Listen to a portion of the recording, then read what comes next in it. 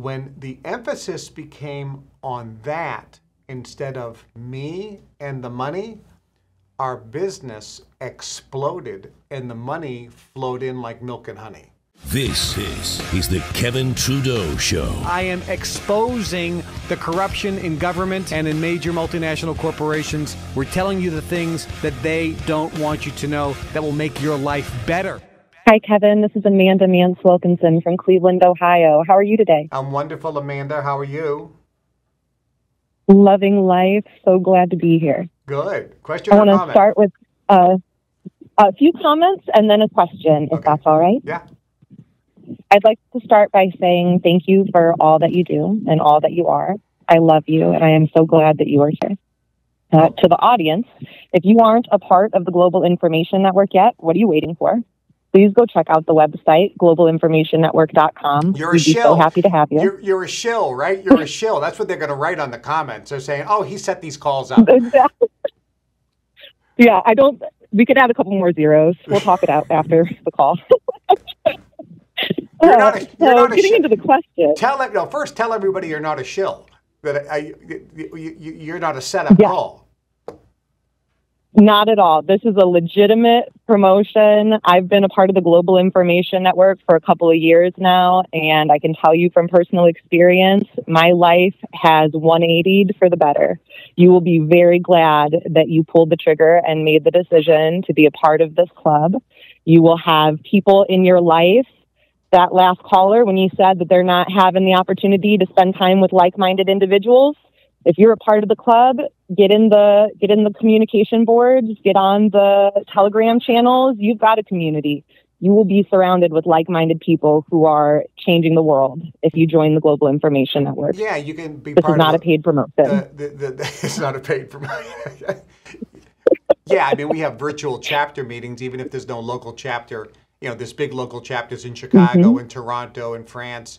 We have big local chapters where people meet. But we also have virtual chapter meetings where you can meet people who speak your language and then get their phone number and email address so you have people that you can reach out to and talk to and befriend, even if they're not local, right? That's right. Yeah, it's very accessible. I've got friends all over the world now. Good, good, good. And your question? Yes. So I am authoring a New York Times best-selling children's book series. I'll link my Venmo and Cash App in the comments if anybody wants to donate and activate their power of giving. Uh, with that being the chief aim, Kevin, what steps would you specifically take as someone who has had a number one for 26 weeks in a row to ensure this reality? And what resources would you recommend for me?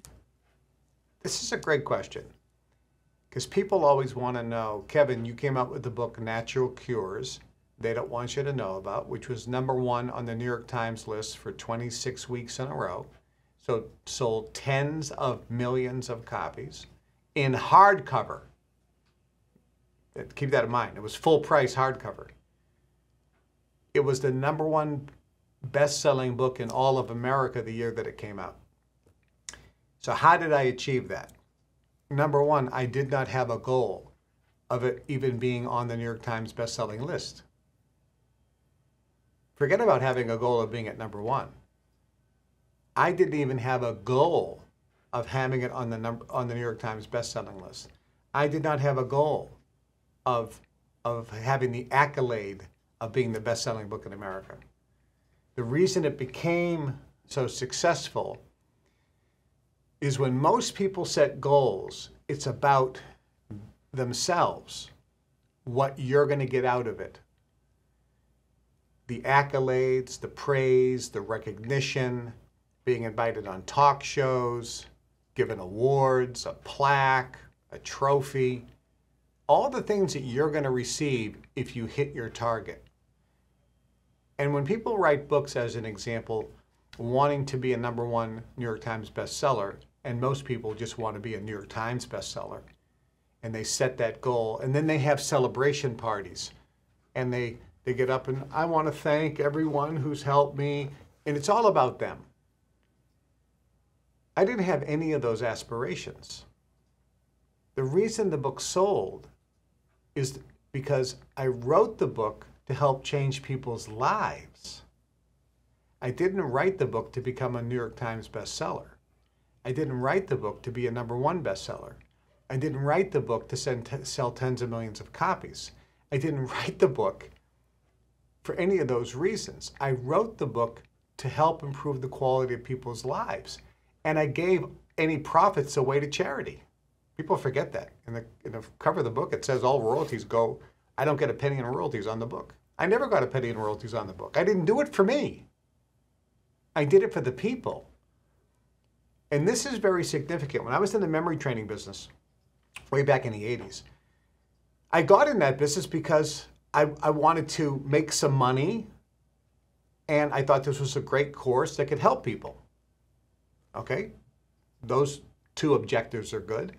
And when I got in, we were making ridiculous money and I wanted to make more money. And one day, I was teaching a seminar, a workshop on memory improvement. And at the break, several other people came up and they were almost in tears, saying, This is life changing. My daughter's here. She has brightened up. She was so depressed. She hated school. She didn't want to go to school because she couldn't remember anything. She learned yesterday how to remember over 100 things forwards, backwards, in and out of order in the class. And Kevin, she went home and she committed to memory all 50 states and their capitals. And she went into school and told her teacher what she could do. Teacher didn't believe her, and so she showed her. And the teacher was just blown away. She goes, My daughter's self esteem and self confidence is so high, it's going to positively impact her for the rest of her life. And I wanted to thank you, Kevin. At that moment, I went back to teaching the, the class, and I wasn't thinking about how much money I'm going to make if people in the room purchase another course, the advanced course, or something like that. I thought, what can I do to make this seminar workshop better? What can I do to positively impact more people's lives? I went back to the office in Bensenville, Illinois. I actually drove by our building, which is condemned now. This was back in the 80s. And I said, that's where we had our first office. And I sat down with the staff and I said, I want everyone to put their thinking caps on. What can we do to make the workshop better for our customers? And what can we do to positively improve and impact their life more? When the emphasis became on that, instead of me and the money, our business exploded and the money flowed in like milk and honey. I mean, money flowed like lava. You couldn't stop it. And so, the thing I will tell you and anybody else when you're setting goals and objectives is how are other people going to be positively impacted if you hit that goal? Athletes, when they're trying to win an Olympic gold medal. Invariably, when the athlete says, I want to win the gold, and they have that goal for themselves, that they want to win the gold medal, they invariably don't win it.